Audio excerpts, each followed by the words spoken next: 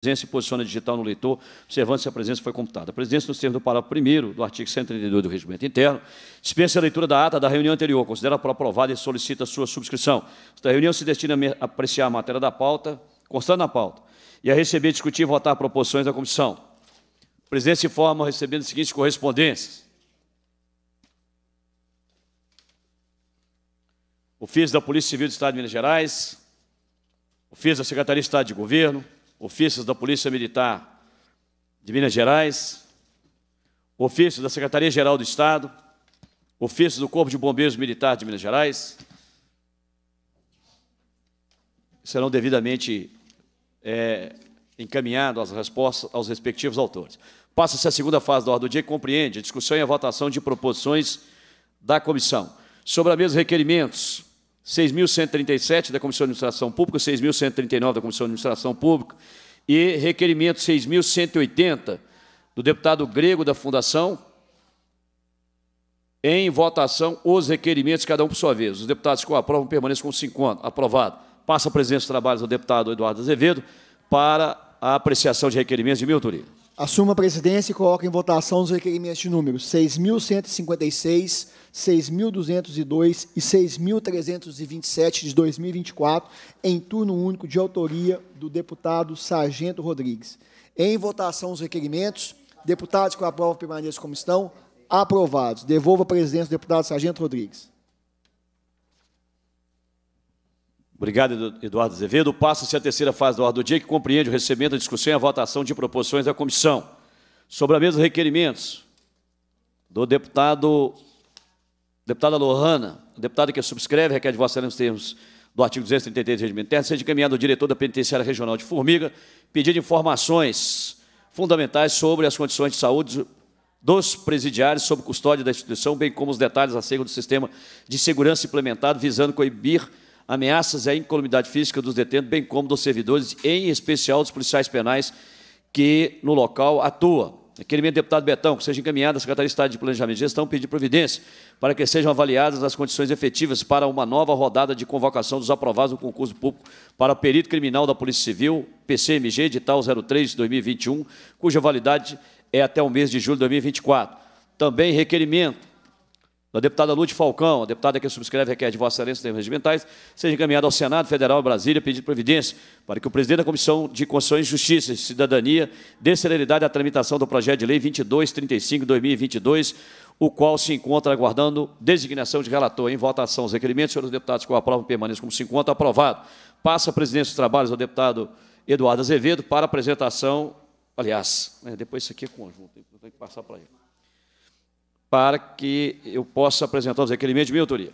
Assuma a presidência e devolva a palavra ao deputado Sargento Rodrigues. O primeiro requerimento seja realizada audiência pública para conhecer e debater as ações efetivas que estão sendo desenvolvidas pelo comandante-geral da Polícia Militar, cujo, junto ao governador do Estado, em relação à recomposição das perdas inflacionárias da ordem de 41,6 suportadas, 41,6% suportadas desde 2015 pelos policiais militares como é de conhecimento do próprio comandante-geral, abre aspas, a saúde financeira do servidor reverbera em sua saúde mental, bem como na qualidade e segurança da prestação de serviços à sociedade. O policial militar endividado possui capacidade focal reduzida, podendo atuar em casos pontuais de forma discrepante ao preconizado pela instituição.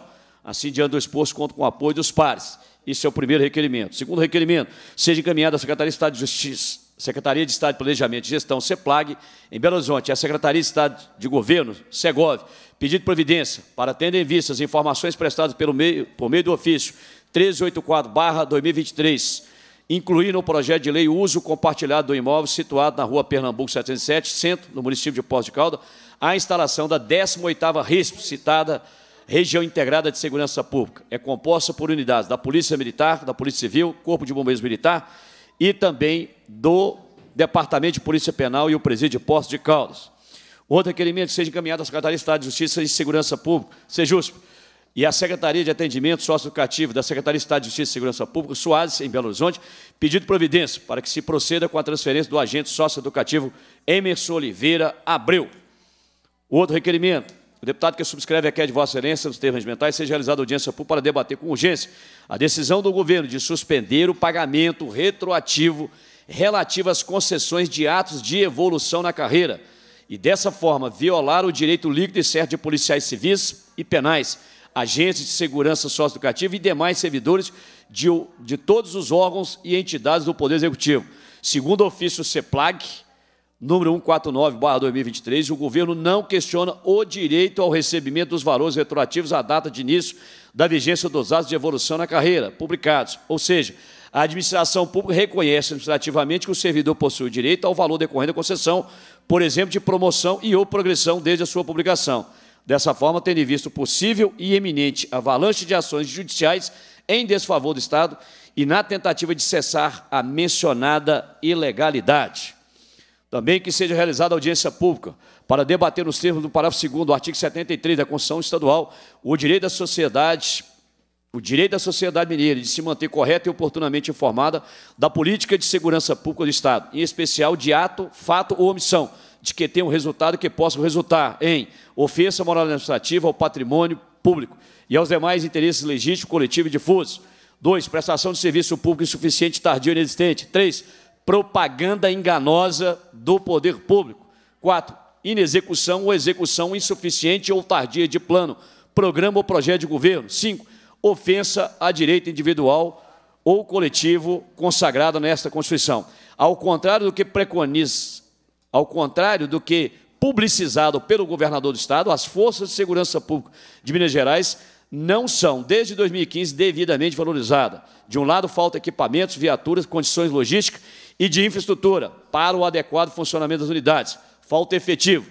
De outro, a sobrecarga de trabalho, adoecimento, endividamento entre outras mazelas. Assim, considerando o exposto, conto com o apoio dos pares uh, para aprovação do requerimento e para tanto que sejam convidados o governador do Estado, o vice-governador e o secretário de Estado de Governo.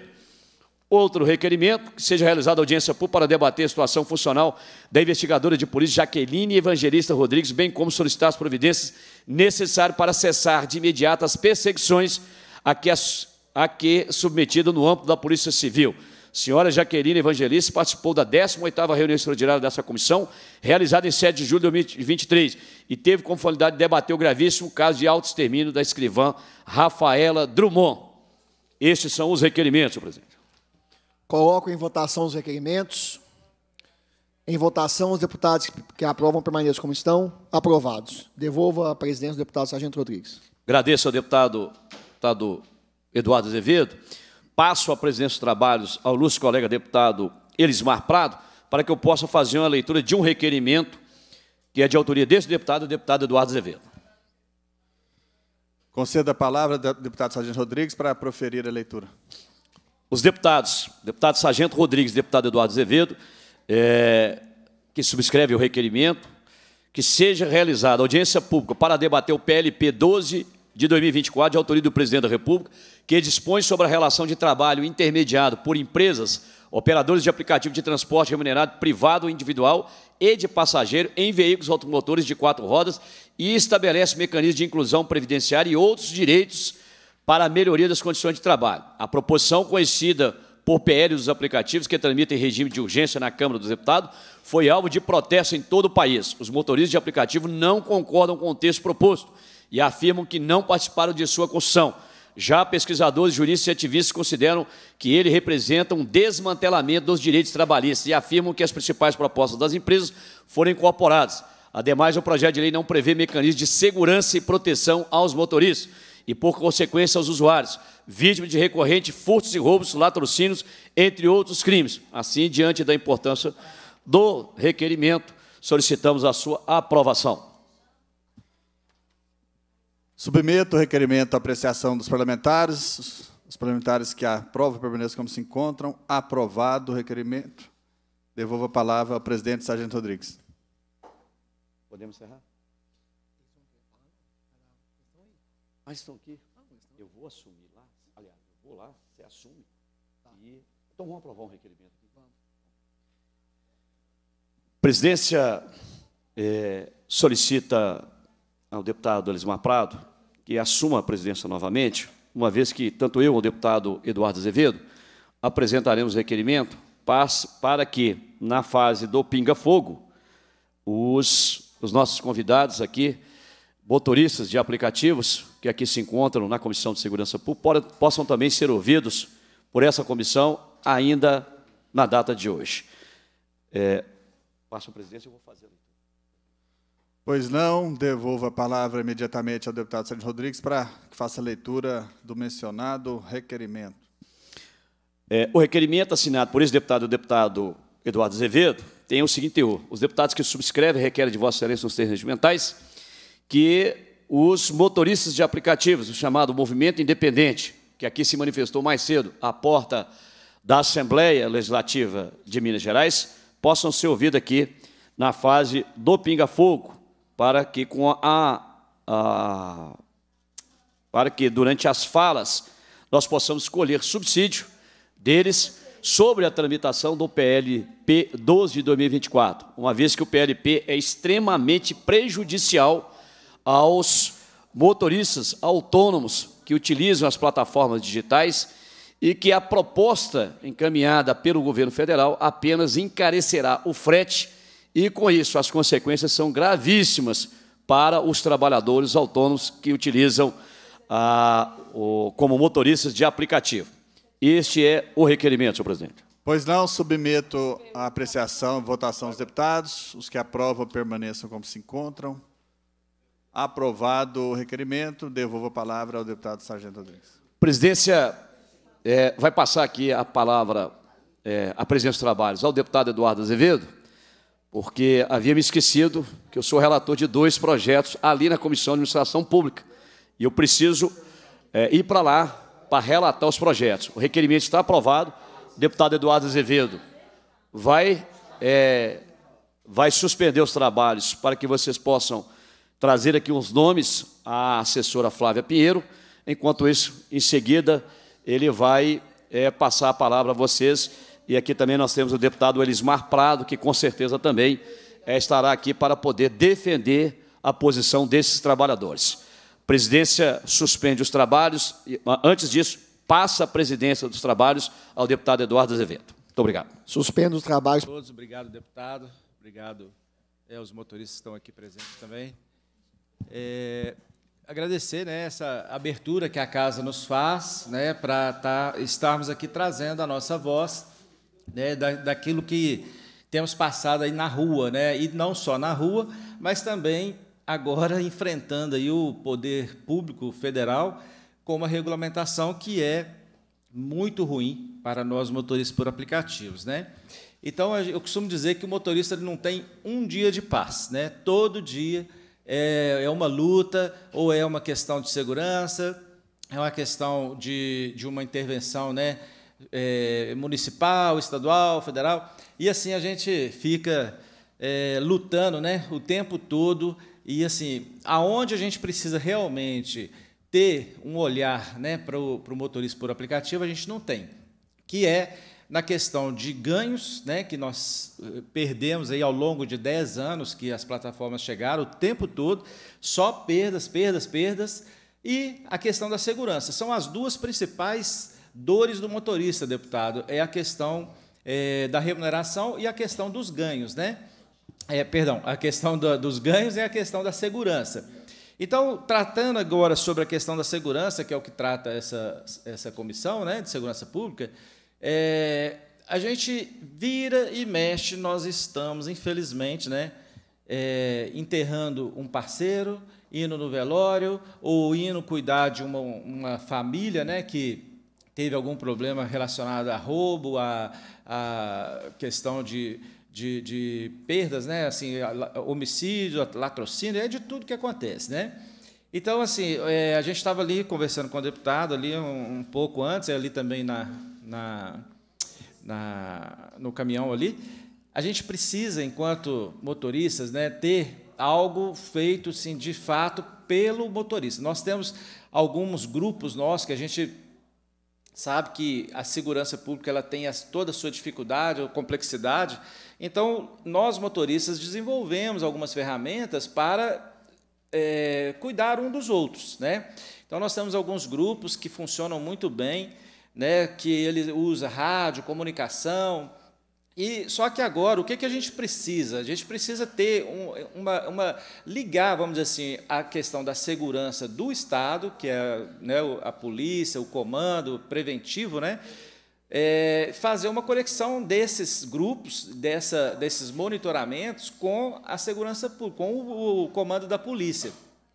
É, eu estive recentemente junto ao Comando Geral da, da Polícia Militar, é, tentando, a gente tentou implementar algo nesse sentido, com é, um botão físico de segurança, né, para que o motorista tenha um, um, uma forma de, de né, so, ter um socorro ali numa situação de risco e tudo, mas a gente encontrou algumas resistências é, do comando da polícia nesse, nessa implantação, na, na, na aceitação.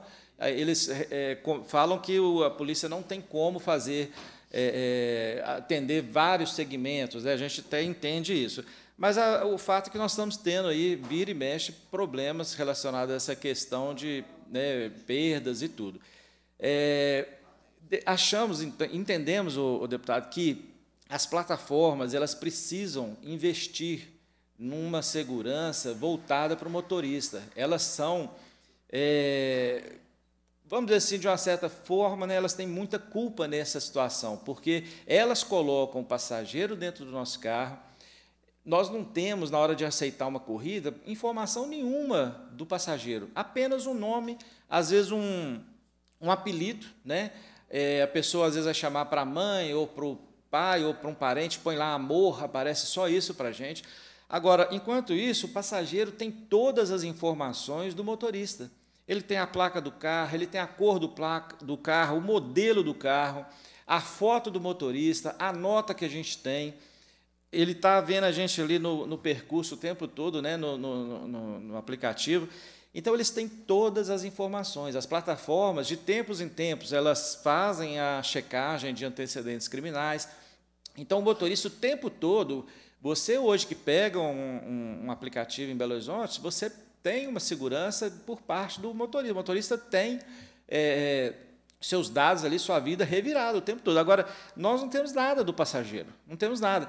uma das coisas que a gente sempre pede né, para que seja revista é essa questão da foto.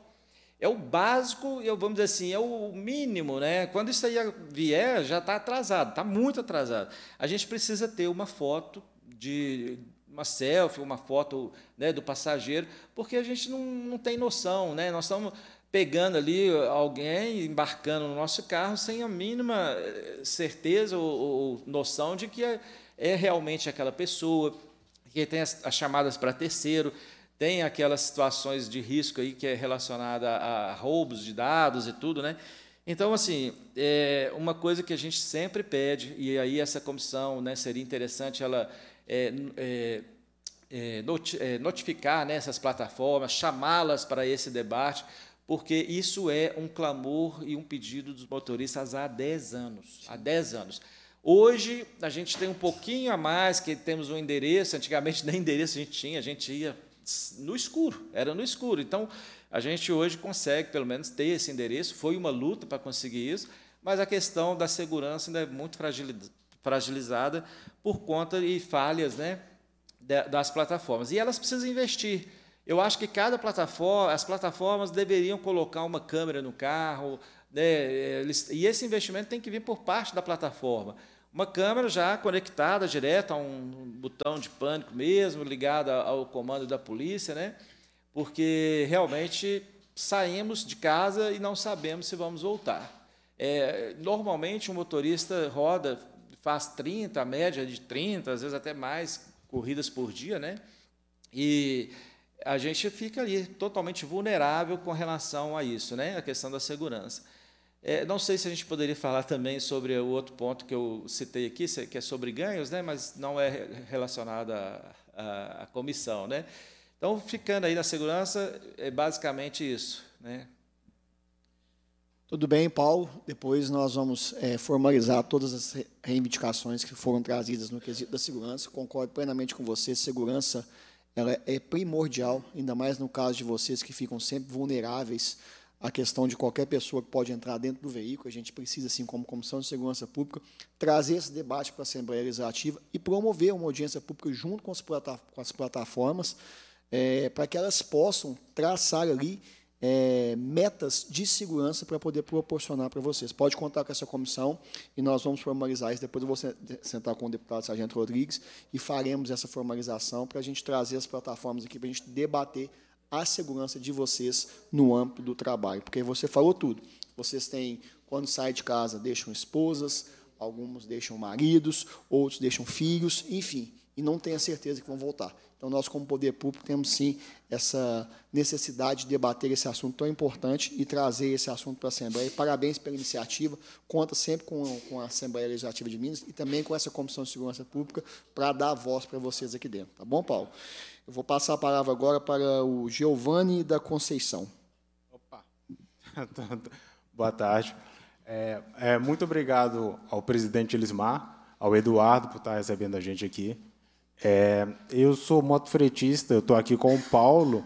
Nós, nós trabalhamos com moto. E qual que é o maior problema que a gente tem? A gente é sempre o elo mais fraco no trânsito, né?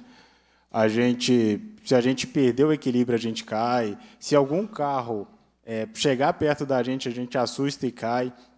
E o que, que os clientes querem? Eles querem o lanche quentinho, eles não querem saber se a gente caiu, se a gente está ralado se a gente. Aconteceu várias coisas no meio do trajeto. É, e qual que é o problema que a gente está tendo hoje? O Lula lançou aquela PL 12 é, 2024, me parece, é, para os motoristas de carro. A gente fez um lobby gigantesco lá para a gente não ser incluído, porque o que acontece? Se a empresa está feliz, o trabalhador está lascado, me desculpe a palavra. E é, a Uber, o Lula lançou lá, é, eu acho que foi na segunda-feira, no mesmo dia a Uber foi e pediu para retirar todos os processos trabalhistas. E o que acontece? Se a gente está na rua trabalhando, nós somos trabalhadores. Não tem nada que o STF possa retirar essa, essa ideia, né? Porque se você trabalha, você é um trabalhador. É, você precisa receber e você precisa ter segurança jurídica para cobrar. E o que, que acontece? É, o Lula fez isso, o Lula agora vai lançar o nosso, e o que, que vai acontecer? Imagina que daqui a pouco 1,2 milhões de trabalhadores vão virar autônomos que não podem acessar a justiça. Então, quer dizer o quê? Que nós vamos morrer na rua, não direito, nós não vamos ter direito a nada. E é, esse foi no âmbito federal. E eu acho que vai extrapolar bastante o que a gente está falando aqui, porque eu tenho que descer para o âmbito municipal. É, o Paulo está ali de prova, a gente já foi várias vezes no, na nossa superintendência do trabalho, a gente já tentou conversar com o prefeito várias e várias vezes, a gente já chamou vários e vários vereadores para eles verem a nossa situação aqui em Belo Horizonte. É porque o que acontece? A gente está tá literalmente morrendo, a gente está saindo de casa, a gente está morrendo mais do que um profissional de segurança pública é, os policiais eles não morrem tanto quanto a gente. A gente sai de casa e a gente tem 70% de certeza que a gente não vai voltar, porque, é, como eu disse, a prefeitura não liga, a gente está morrendo, os carros, os ônibus jogam é, o carro deles em cima da gente, e a Copasa agora está deixando os bueiros abertos. É, perto da minha casa tem uma tampa de bueiro aberta, já tem, sei lá, dois anos que está aberto. É, para um carro, ele vai passar ali e vai estragar, vai estragar a roda, mas e para o motoqueiro? O motoqueiro cair no buraco, ele, com certeza ele vai morrer. A prefeitura não liga, a gente está morrendo, está morrendo. Só no ano passado, eu acho que foi uma média de três mortes de motoqueiros por dia. É uma guerra que a gente está vivendo nas ruas de Belo Horizonte. E tomara agora que, com o deputado Eduardo e com o, o deputado Elismar, a gente consiga uma solução e talvez a gente consiga alguma resposta da prefeitura. É, me desculpe se a gente vai extrapolar o poder estadual aqui, mas a gente tem que parar de morrer e a gente tem que garantir a vida dos pais e mães de famílias que sobem na moto para levar uma renda para casa. Com certeza, Giovanni. É, da mesma forma como nós vamos catalogar as demandas dos motoristas de aplicativo. Vamos catalogar de vocês também. Quero, de antemão, também parabenizá-los pela manifestação que vocês fizeram aqui ontem na Assembleia. Hoje foi a vez dos motoristas de aplicativo. E nós estamos juntos nessa caminhada para poder pressionar o Congresso Nacional para que nenhum desses dois projetos ridículos venham passar e impactar a vida de vocês. Eu só posso fazer um adendo, deputado? Pode. É, eu esqueci de mencionar. É, ontem o iFood disse que a gente não vai poder mais recusar corridas. A gente tem o nosso patrimônio lá, 20 mil de uma moto, a gente tem nosso celular, mil reais, a gente tem nossa gasolina, que é 70 reais por dia, a gente tem nossa mão de obra, que é, ninguém vai ser motoqueiro pelo resto da vida. A gente chega lá nos 40, 50 anos, a gente já começa a riar. E o que, é que vai acontecer? A gente não vai poder mais recusar corridas, eles vão banir as pessoas. E o que, é que vai acontecer? A gente vai entrar na justiça e a gente não vai poder ter os nossos direitos trabalhistas porque a gente não é trabalhador, de acordo com essas, essas pautas, essas, essas, todas essas coisas que o governo está lançando, que é, que é o Partido dos Trabalhadores, mas os trabalhadores estão ficando de fora dessa história. É verdade. O partido dos interesses. Os trabalhadores são deixados para o último plano. O deputado Elismar quer fazer uma consideração, vou passar a palavra para ele. Não, apenas agradecer presidente Eduardo Azevedo, parabenizar vocês pela luta legítima, né, pela manifestação, deixar aqui o meu apoiamento também. Não sou membro aqui titular desta Comissão de Segurança Pública, mas quero dizer a vocês que contem com o meu apoio. Acabei de falar aqui com o deputado federal Wellington Prado, né, que é meu irmão, e ele está acompanhando a mobilização em Brasília com relação ao PL 12. Também ele se posicionar, posicionou favoravelmente a vocês. Né, contem com o apoio dele da mesma forma. E no que diz respeito à questão da segurança pública, essa comissão acho que tem um poder, né, é, Eduardo, de fazer a provocação. A gente não pode aqui manifestar falsas expectativas, que, na verdade, a disputa contra essas plataformas é algo muito grande. A gente precisa aí de reunir muitas forças, realmente, não só nossa aqui do, dessa comissão, dos deputados, governo do Estado, para poder engrossar esse caldo, que é uma disputa difícil, né, para que a gente faça um enfrentamento e consiga produzir mudanças, de fato, no sentido de avançar na melhoria dos direitos de vocês. Né. Com relação à segurança pública, por exemplo, temos uma disputa difícil aqui é, no Estado, só para dar um exemplo, né, que o governo realmente não está demonstrando assim uma prioridade para a segurança. Ele fez uma promessa às forças de segurança pública do Estado de fazer pelo menos a recomposição das perdas inflacionárias. Já se foram sete anos e já acumula 41%, não é aumento, dos vencimentos dos servidores da segurança pública, mas simplesmente recomposição das perdas, já soma 41%. Então, o governo Zema não cumpriu a promessa feita aos servidores da segurança pública, e imagina só, né, a gente precisa incrementar novas políticas, como disse o nosso amigo do Uber, é, para fazer a proteção de vocês, que é necessária né, que vocês têm esse direito à segurança pública.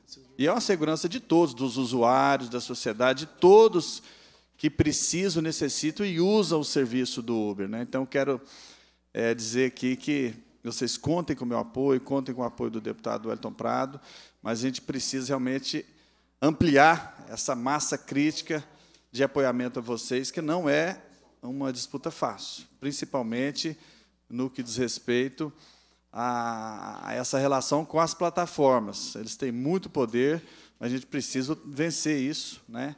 E, e, de fato derrubar todos esses prejuízos que o PL 12 traz a vocês que está tramitando é, lá no Congresso, que é de autoria do governo federal, bem como todas as questões aqui no âmbito do Estado. Tá? Então, eu vou me ausentar aqui, mas vou acompanhar a, as discussões da comissão e dizer de antemão a vocês que contem com o meu apoiamento em todas as matérias de interesse de vocês que venham a, a tramitar aqui na Assembleia de Minas, tá? E nos espaços que a gente tiver de mobilização, de, de, de, de relação com o governo também, para que a gente possa fazer essa, levar essa demanda de vocês, tá? Parabéns pela luta legítima, legítima, e a gente espera que vocês realmente sejam tratados com o respeito que vocês realmente merecem. Parabéns, obrigado, valeu. Obrigado, deputado, pelas palavras. Nesse momento, eu devolvo a presidência do deputado Sargento Rodrigues. Agradeço ao deputado Eduardo Azevedo. Conseguimos superar a pauta lá na Comissão de Administração Pública. Deputado Elismar Prado, aqui peguei as últimas palavras dele, quero agradecer. Deputado Elismar Prado, sempre muito coerente com o seu trabalho, é, a sua dedicação. Inclusive, o, ex-colega deputado estadual também, o Elton Prado, que a gente tem muito apreço e respeito pelo parlamentar, é, formam uma dupla de irmãos parlamentares assim de excelência, né, na defesa, inclusive, dos trabalhadores. Esse aqui, sim, eu sei que defende o trabalhador.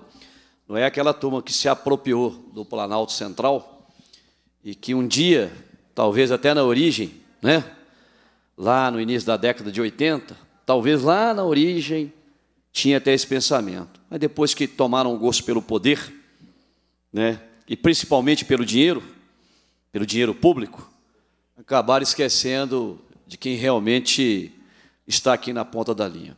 Eu precisei me ausentar, mas é, contei aqui com a colaboração do deputado Elismar Prado e do colega deputado, que é membro efetivo da Comissão de Segurança Pública. Conseguimos aprovar o requerimento, vocês conseguiram chegar num time com a manifestação de vocês, né, Eduardo? É raro acontecer isso aqui, a gente chegar, ter uma manifestação. Eu estava retornando ali do almoço, eu almoço aqui na, no restaurante que, dos servidores da Assembleia já há 25 anos, e estava retornando, Eduardo Azevedo também almoça lá, Lismar, estava retornando ao almoço quando deparei com a manifestação de vocês. O que vocês estão fazendo? É, eu fiz lá em 97, enquanto segundo sargento da Polícia Militar, e tive a minha cabeça degolada naquela época, quando liderei uma greve em 1997. Mas a história, ela é escrita pelos homens que têm coragem, os homens e mulheres corajosos. E a minha fala aqui é no sentido de parabenizar vocês. Tem que vir para a rua, tem que é, bloquear o trânsito, e de preferência aqui na porta da Assembleia, porque aqui ninguém vai mexer com vocês, não. Aqui ninguém vai é, tentar tomar alguma medida mais drástica em relação a vocês. Como fica difícil para vocês ir em Brasília, a não ser que seja planejado para fazer uma grande marcha de vocês, aqui na porta da Assembleia é um bom lugar. Nós já, inclusive, com o requerimento aprovado aqui de minha autoria, deputado Eduardo Azevedo, e com a ajuda de aprovação do Elismar, que é a pessoa extremamente sensível a essas causas, nós aprovamos o requerimento. E depois, gostaria que vocês procurassem o gabinete, deixasse o contato das principais pessoas, tanto comigo quanto o Eduardo, e se o, o colega Elismar também, se assim dispuser, porque para mim é uma, é uma honra ter aqui, e eu não falo isso não, é um colega que está lá na Comissão de Defesa do Consumidor também, brilhante, ele o Eduardo já né, faz essa dupla lá na Comissão de Defesa do Consumidor, pessoas que realmente é, são sérios, trabalham para a coletividade e defendem interesse do cidadão. Então, estou do lado aqui de dois colegas realmente que, que a gente tem satisfação em trabalhar ao lado deles. E vocês deixem os contatos para que a gente possa marcar uma grande audiência pública, para que vocês tenham tempo de mobilizar e fazer aqui, aqui no auditório Zé Alencar, e a gente abrir aquelas portas do, do Zé Alencar ali e aquele expandir, expandir. E aí a gente chama também deputados federais. A gente chama o senador Cleitinho, que foi o senador que eu apoiei. Não foi o senador que eu apoiei. Então a gente chama o senador, vão chamar diversos deputados federais, vão chamar o deputado Wellington Prado. Ele se encarrega de chamar o deputado Wellington Prado. Eu vou chamar os deputados federais pelo PL, deputado Nicolas Ferreira, deputado Júnior Amaral, o deputado é, Marcelo Alvo Antônio, né, o deputado Domingos Sábio, deputados federais que o projeto está lá, para que eles ouçam vocês, para que os legisladores federais ouçam vocês e conheçam a posição de vocês. Infelizmente, pelo que eu percebi na fala de vocês ali fora, pegaram uns sindicatos pelegos, né, acostumados a mamar nas tetas do governo, sindicatos pelegos, porque o que tem de nojento em sindicato pelego é tristeza. Eu lido com os sindicatos da segurança e associações diuturnamente. E quando a gente depara um que passou por lá de lá, dá vergonha você olhar para a cara desse cidadão. Porque sindicato é para defender trabalhador. E o que, que eles fizeram com vocês? Apunhalaram vocês pelas costas. Então, se é uma área que eu tenho vasta experiência. Vasta experiência.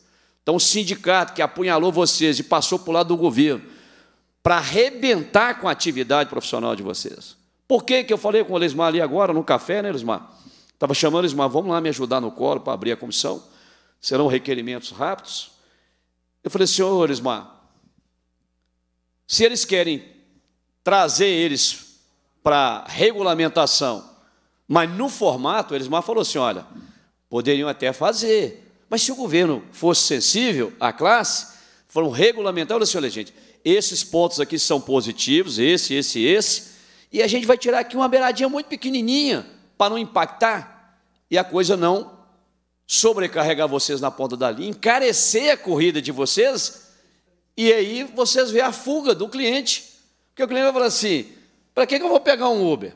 Para que, eu vou pegar um mototáxi através do aplicativo se o preço dele for lá em cima? Não, não quero mais não.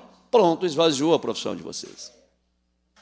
Inclusive, eu já aprovei um requerimento semana passada, ou retrasada, se eu não estou equivocado, para discutir, inclusive, a questão de segurança de vocês. O requerimento é de minha autoria. Porque vira e mexe a gente tem notícia de um latrocínio. Está o cara ali, está um profissional do aplicativo, ralando o dia inteiro e às vezes a noite inteira, às vezes no, na, naquela, naquela vontade de falar assim: deixa eu ganhar aqui esse dinheirinho aqui, porque esse dinheirinho que vai ser importante para a reforma da minha casa, para comprar um, um, uma cama melhor para o meu filho, para ajudar ali no, no, no, no vestuário da família e ele pega uma corrida e não volta mais. Então, o que o governo federal estava fazendo com vocês, e vindo de onde? Daqueles que um dia juraram que ia defender, chama-se tapa na cara, apunhalaram vocês pelas costas. Que partido é esse? Partido que arrebenta com o trabalhador? Partido da, da teta, que quer mamar nas costas de vocês e ainda trazer o sindicato para cima do cangó de vocês ainda, para tributar vocês ainda de forma arbitrária, né? compulsória, e depois que aprova a lei, você é obrigado. Você quer entrar? Tá, daqui é compulsório. Vergonha. É uma vergonha. Então, fico é, feliz em ver vocês manifestarem. Quando eu vejo uma manifestação de trabalhador legítimo igual a de vocês, a gente só tem que dar apoio. E esta comissão aqui abraça vocês de corpo e alma, pode ficar tranquilo. E aqui não vai aparecer ninguém para bater vocês, não. Que se vier aqui para criticar, vai tomar a resposta à altura aqui. Aqui não. Aqui na comissão de segurança, não. Vamos ouvir agora o senhor Jonathan. É do Almeida Cirilo mesmo? Jonathan do Almeida Cirilo, motorista de aplicativo guerreiro do asfalto. É isso mesmo, irmão? O senhor tem a palavra, fica à vontade. Obrigado a todos. Pega o microfone, suspende ele, porque. Obrigado, obrigado isso. a todos. Quero agradecer aos deputados que estão recebendo a gente, nós motoristas para o aplicativo hoje. Essa oportunidade de estar aqui, ela realmente é uma bênção para o motorista, para o profissional, tá? Sim, a PL 12/2024 ela não escutou o motorista de forma nenhuma, extremamente arbitrária.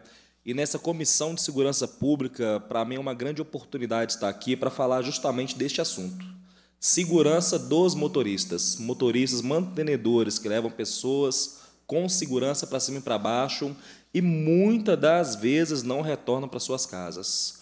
É muito importante frisar aqui que nós através de organização em grupos, associações, nós buscamos o melhor para o motorista, de tal forma que criamos monitoramentos amadores mesmo, monitoramentos através de grupos de WhatsApp, de centrais, de rastreadores, mas que o resultado tem sido fenomenal. Nós temos salvado vidas na rua e isso sim deve ser lembrado aqui. Então eu posso falar que, por exemplo, o grupo Guerreiros do Asfalto, nós usamos os monitoramentos de segurança uns com os outros, nós treinamos os motoristas, preparamos para que ele volte para casa com vida.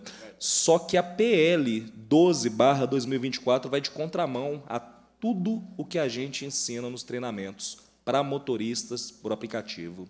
Ela vai extremamente em contramão quando ela obriga o motorista a aceitar corridas, quer queira ou não, ou serão bloqueados. E caso for bloqueado esse motorista por aplicativo, ele não terá direito de correr atrás para que a conta dele volte ao normal, conforme está na PL. Pois é.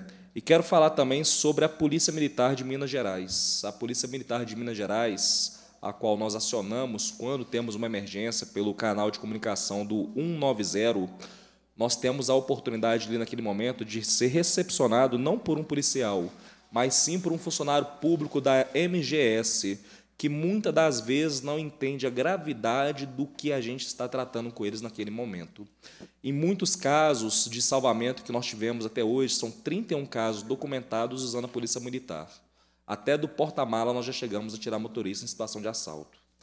E em alguns desses casos que nós tiramos motorista em situação de assalto, nós tivemos uma extrema dificuldade de comunicação com o primeiro contato do 190 se trata ali da empresa MGS, até que eles entendam que nós temos a localização em tempo real dos nossos motoristas, nós temos uma luta tremenda para que eles entendam através do 90, precisando muitas das vezes há que a gente acione talvez a própria Polícia Civil para ir atrás. Então eu peço a vocês aí que aproveitem a oportunidade da Comissão de Segurança para cobrar maior efetividade do canal de comunicação 190 quando for se tratar de uma situação de um motorista por aplicativo.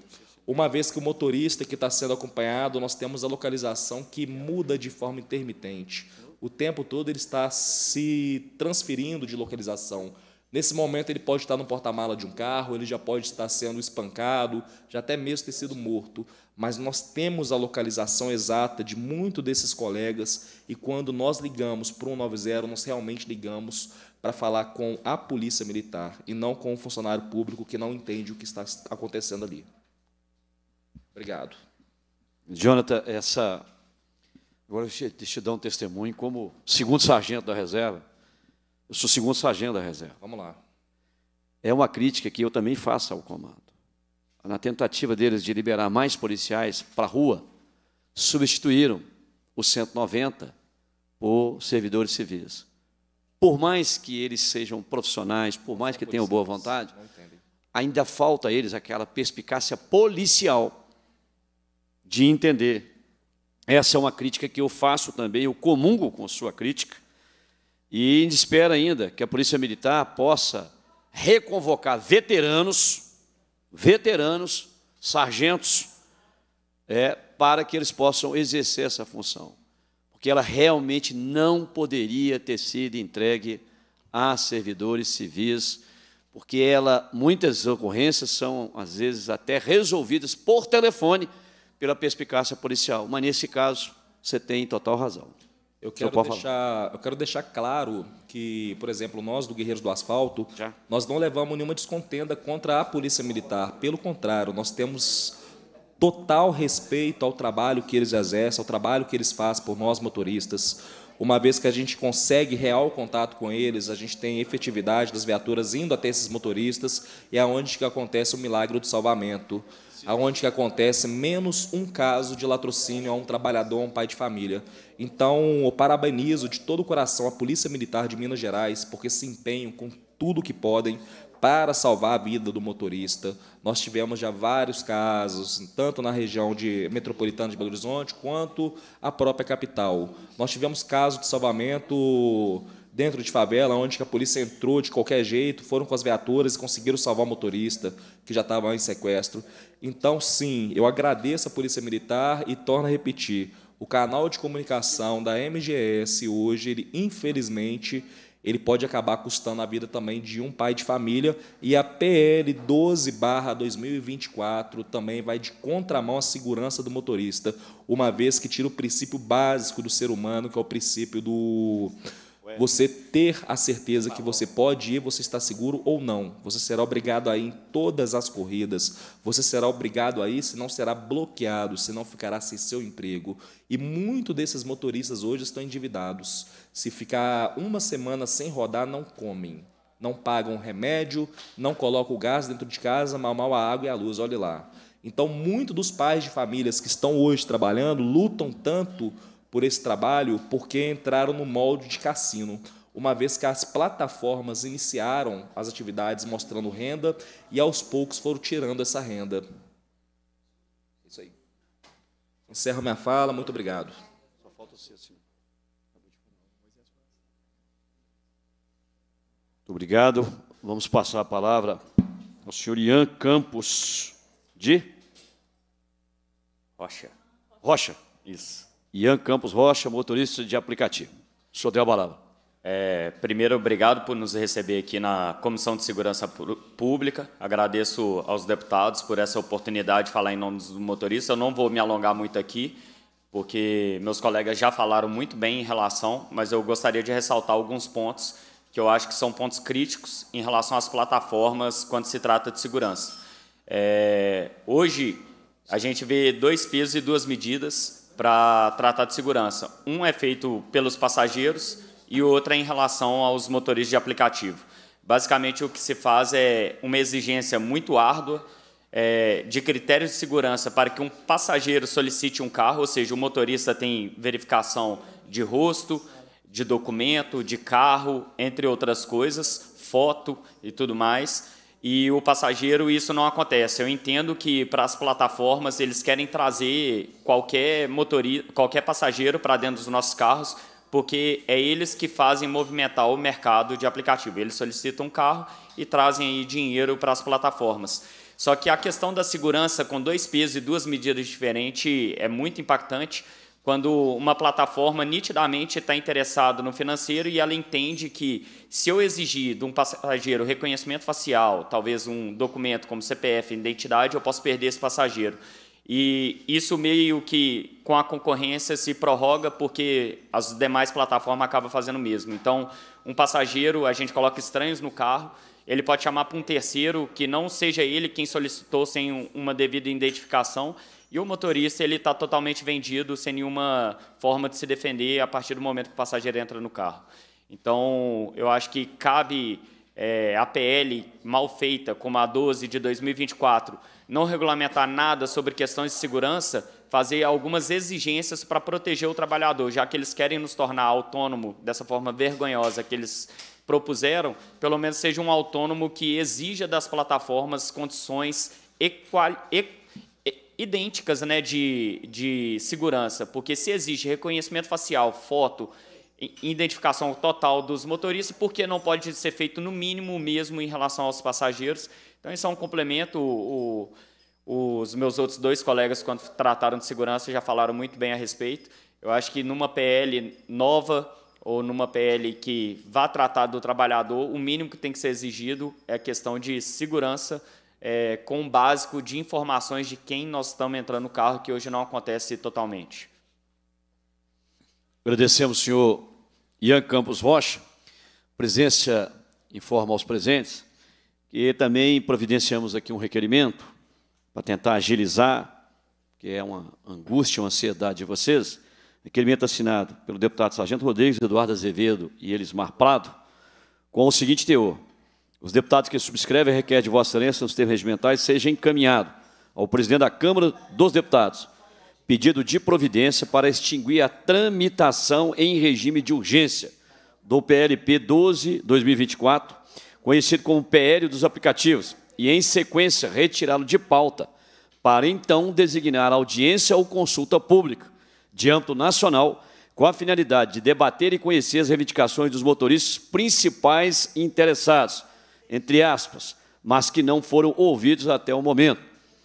Fecha aspas. Assim, tendo em vista as manifestações ocorridas por todo o país contra o que o proposto no projeto de lei 12 o projeto de lei, né, o PLP 12 de 2024. Este é o requerimento que está assinado pelos três deputados. Presidência, como nós se encontramos na terceira fase, a presidência vai submeter o requerimento à votação. Os senhores deputados que o aprovam permaneçam com se encontram. Aprovado o requerimento. Bom, então, a manifestação de vocês, nós já conseguimos aqui não só aprovar um requerimento, eu vou pedir à consultora Flávia que agilize a tramitação desse requerimento para que ele chegue ao presidente Lira o mais rápido possível.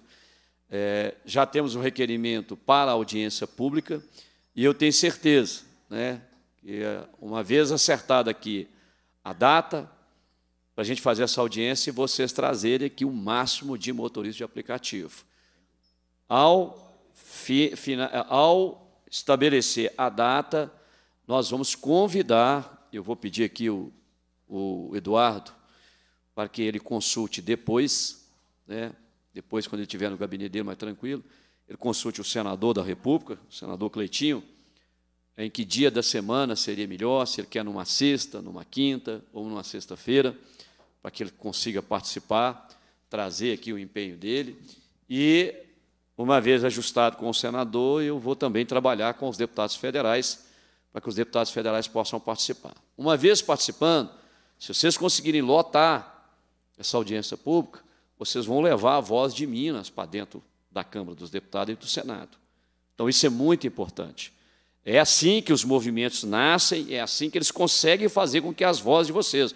Porque eu repito, são 800 quilômetros daqui em Brasília. E as dificuldades que vocês têm são muitas, inclusive a dificuldade maior é financeira.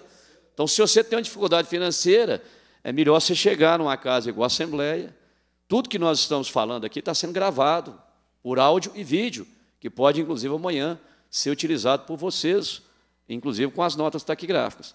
Então, é, é através da Assembleia canalizando em audiência pública, que vocês vão conseguir chegar até Brasília, vocês mostrarem satisfação. Agora, o grau de insatisfação de vocês vai estar atrelado ao número de pessoas que virá na audiência.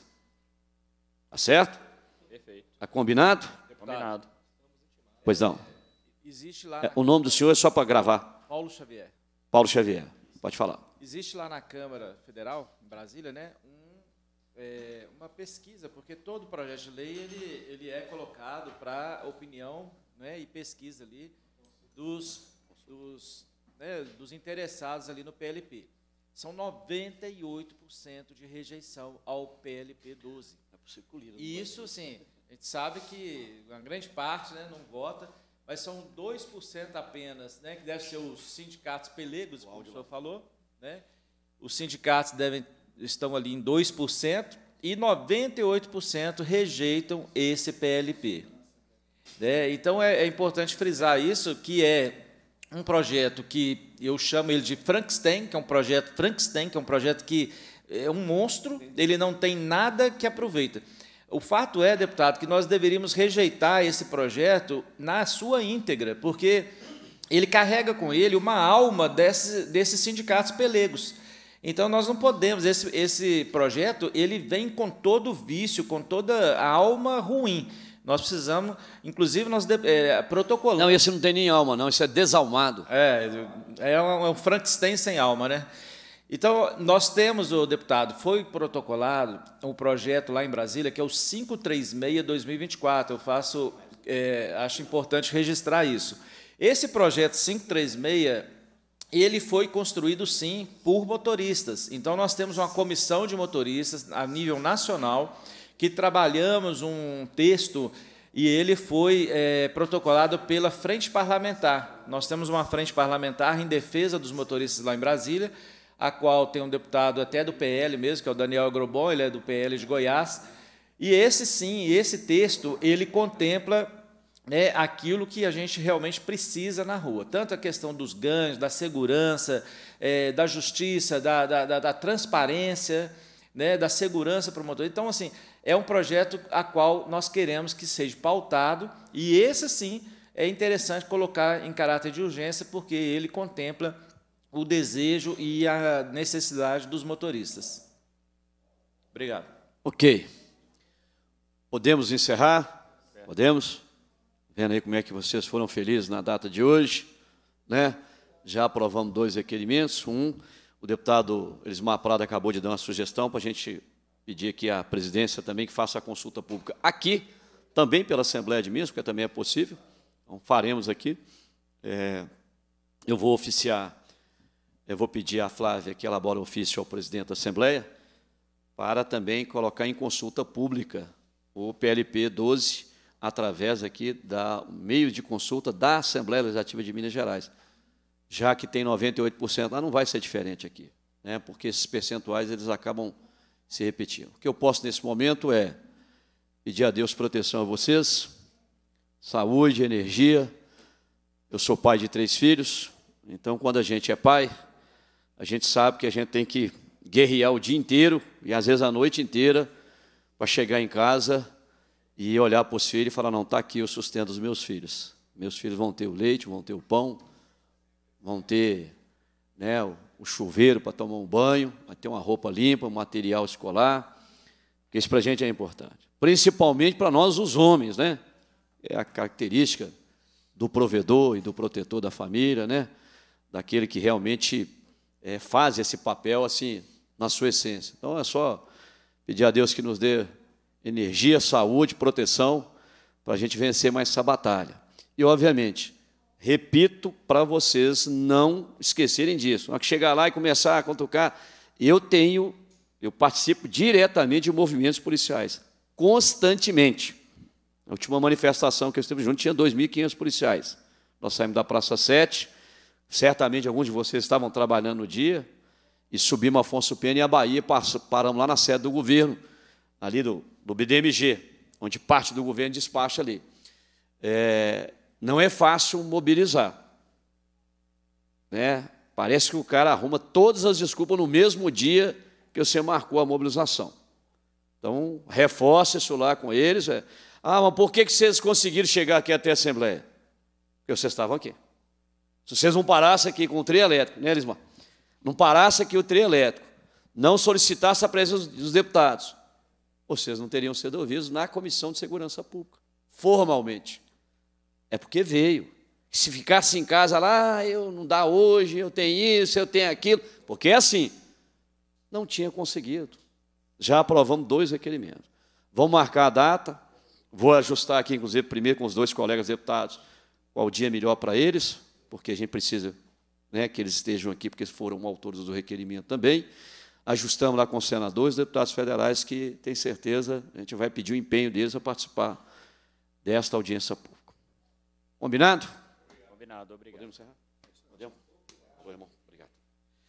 Cumprida a finalidade da reunião, a presidência agradece a presença dos parlamentares dos convidados, convoca os membros para próximas reuniões, é, é, desconvoca a reunião prevista para hoje, dia 26 de março, às 16 horas. Determina a lavatura da ata e encerra os nossos trabalhos. Muito obrigado.